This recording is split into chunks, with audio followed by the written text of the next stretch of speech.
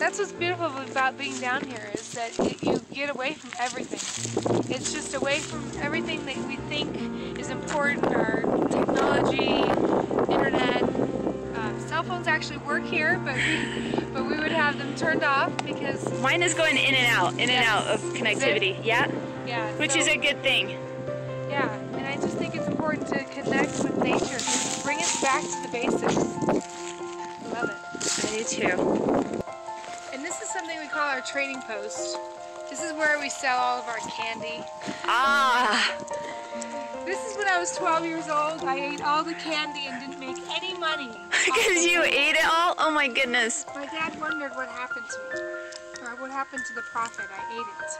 Oh, So, hi, this is Becky. I'm way up on the cliff in, in Navajo Trails.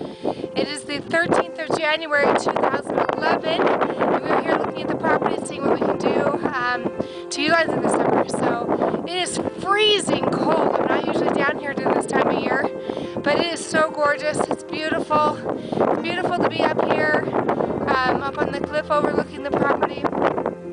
and thinking about all the wonderful memories I've had and uh, also we're going to be creating this summer in 2011. So excited. Hope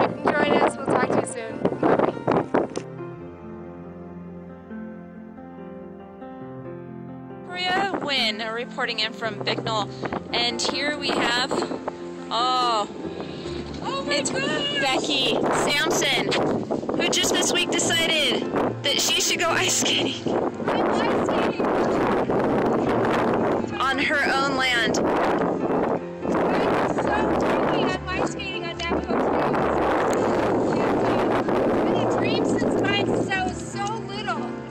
Beautiful,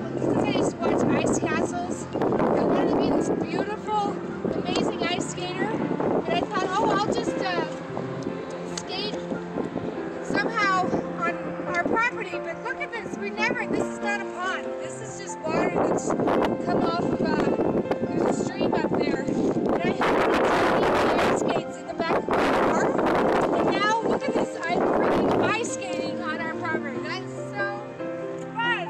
It's like, this is my first time ice skating ever First time ice skating ever outside. outside